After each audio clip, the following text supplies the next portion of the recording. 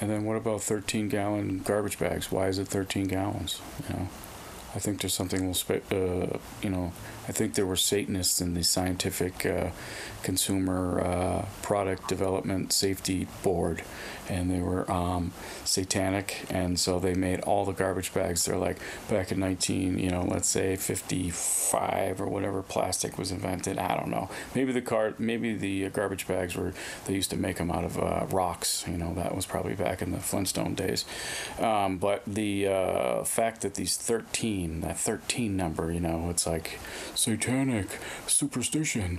So let's start a whole rumor now that the there's a scientist at the Dow Chemical Company and his family invented that idea of uh, the 13 because they were secret Satanists and then they had Mason Masonic symbols on their headstones and they were like, you know, see, this is where this bullshit can go, you know, and it's very easy to do.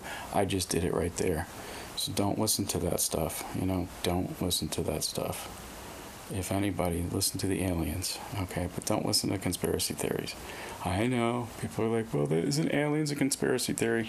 Yes, but mm, that one's actually true.